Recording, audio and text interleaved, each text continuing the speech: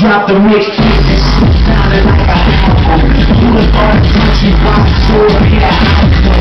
Niggas nowadays trying to act like Malcolm.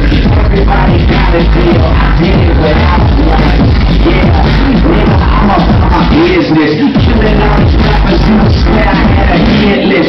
Everyone who got it needs asking for forgiveness. If you ain't been a part of it, at least you got to witness.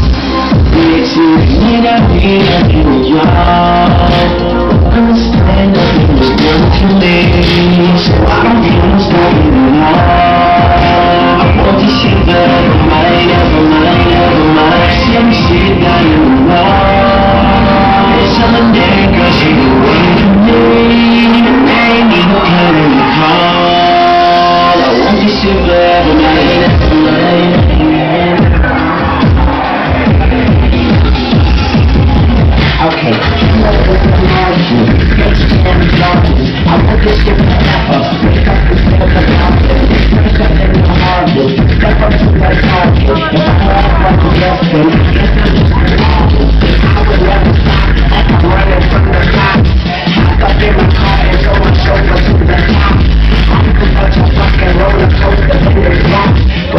I scream for? This is my theme part.